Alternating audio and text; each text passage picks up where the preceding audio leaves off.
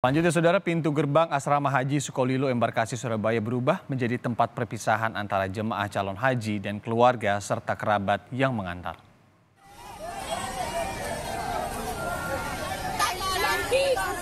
Suasana haru tampak saat keluarga pengantar berjabat tangan memberi salam perpisahan kepada jemaah yang akan menunaikan ibadah haji. Bahkan tak sedikit yang tak mampu menahan tangis pihak keluarga tak diperbolehkan masuk ke dalam asrama sehingga mereka hanya bisa bertemu di pagar.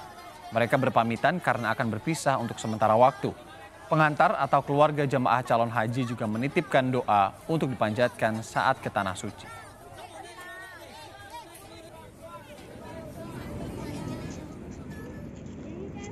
Sabtu pagi, jemaah calon haji Kloter 1 embarkasi Palembang berangkat ke Tanah Suci.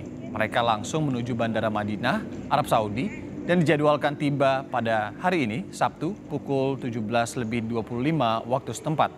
Kloter 1 berisi 360 calon haji yang seluruhnya berasal dari Kabupaten Oku Timur. Informasi lengkapnya kita langsung sapa, ada jurnalis Kompas TV, ada dua jurnalis Kompas TV, satu di Palembang, Sumatera Selatan, dan juga satu lagi di Surabaya, Jawa Timur, ada Reski Oktora, kemudian juga ada Kika Madonna. Kita ke Reski dulu, Reski, jadi dari Palembang ini kan ada pemberangkatannya dari sejumlah daerah juga di Palembang begitu ya. Totalnya ada berapa? Kemudian bagaimana situasi kemudian juga dinamika keberangkatan haji sejauh ini? Baik, uh, selamat pagi Irianda dan juga saudara. Untuk embarkasi Palembang pada tahun ini memberangkatkan sebanyak 8.192 calon jemaah haji yang berasal dari Provinsi Sumatera Selatan dan juga Provinsi uh, Bangka Belitung dengan rincian sebanyak 7.012 uh, orang calon jemaah haji asal Sumatera Selatan dan uh, sisanya atau 1.065 calon jemaah haji asal uh, Bangka Belitung. Pada tahun ini keberangkatan akan terbagi sebanyak 23 kelompok terbang atau kloter yang terbagi dari uh, dua gelombang. Pada hari ini kloter pertama yang terdiri dari 360 calon jemaah haji akan diberangkatkan ke Tanah Suci. Yang saat ini juga sudah uh, berkumpul sejak kemarin di asrama haji. Pada tahu pada kloter pertama ini 360 calon jemaah haji tersebut uh, keseluruhannya berasal uh, dari Ogan Komering Ulu Timur dan keberangkatan kota pertama ini uh, dijadwalkan akan dilepas langsung oleh uh, Gubernur Sumatera Selatan yang saat ini sudah berada di asrama haji.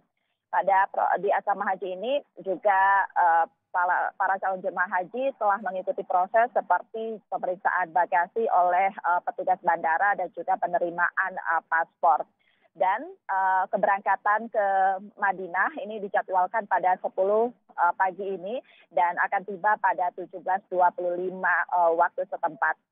Irianda. Baik, terima kasih Reski. Kita beralih ke Surabaya, Jawa Timur. Ada Kika Madonna. Kika, jadi sejauh ini seperti apa dinamika keberangkatan jemaah haji ke Tanah Suci? Kloter berapa yang akan berangkat paling dekat? Kemudian juga jumlahnya totalnya ada berapa? Ya Iriana dan juga saudara, jadi total jumlah jamaah haji yang sudah diberangkatkan yaitu sebanyak 3.900 jamaah haji yang tergabung dalam 9 kloter. Jadi saat ini sudah ada 9 kloter yang berangkat ke Tanah Suci. Sehingga uh, untuk pemberangkatan per, yang dilakukan paling dekat adalah pada dini hari tadi pada pukul setengah satu malam, di mana untuk pemberangkatan jamaah haji ini berasal dari Gresik, ada total sekitar 450 jamaah haji yang diberangkatkan dari embarkasi haji Sukolilo Surabaya. Hingga saat ini seperti yang saya sampaikan tadi sudah ada 3.900 jamaah haji yang sudah diberangkatkan dari total 9 kloter yang dilakukan pada yang diberangkatkan pada hari ini. Namun untuk hari ini akan ada dua kloter yang juga kemudian tiba di embarkasi Haji Sukolilo Surabaya yaitu kloter ke-10 dan kloter ke-11. Informasi yang kami terima untuk kedatangan dari kloter 10 dan juga kloter 11 ini akan tiba pada pukul 8 dan juga pukul 9 pagi ini. Adapun untuk kloter 10 dan juga kloter 11 berasal dari Ponorogo, Ngawi, Surabaya, dan juga uh, informasi yang kami terima untuk kedua kloter ini akan mulai diberangkatkan pada dini hari nanti yaitu pada pukul 2 dini hari dan juga pukul 4 dini hari. Seperti yang saya sampaikan tadi, 3.900 jamaah haji dari berbagai daerah, baik itu Jawa Timur, NTT, dan juga Bali sudah diberangkatkan hingga hari ini. dan total jumlah jamaah haji yang rencananya akan diberangkatkan sampai dengan kloter ke-84 mendatang dari embarkasi Haji Sukolilo Surabaya yaitu sebanyak 36.928 jamaah haji. Sampai dengan saat ini ada total 8 jamaah haji yang terpaksa harus menunda keberangkatannya karena berbagai faktor. Salah satunya adalah karena faktor jamaah haji tersebut sakit, lalu kemudian pendampingnya sakit. Sehingga uh, jika nantinya para jamaah haji yang terpaksa tertunda keberangkatannya ini uh, menurut informasi yang kami terima dari pihak embarkasi Haji Sukolilo Surabaya akan tetap diberangkatkan jika kondisinya sudah memungkinkan atau sudah pulih dan akan diikutkan dengan kloter berikutnya. Tentunya kita masih akan menanti bagaimana untuk pemberangkatan jamaah haji yang saat ini juga masih terus berlangsung. Hari ini Irianda kloter 10 dan 11. Kloter 10 dan 11, baik. Terima kasih Ika Madona langsung dari Surabaya, Jawa Timur. Sebelumnya ada Reski Oktora. Reski, terima kasih juga dari Palembang, Sumatera Selatan. Selamat bertugas kembali kawan-kawan.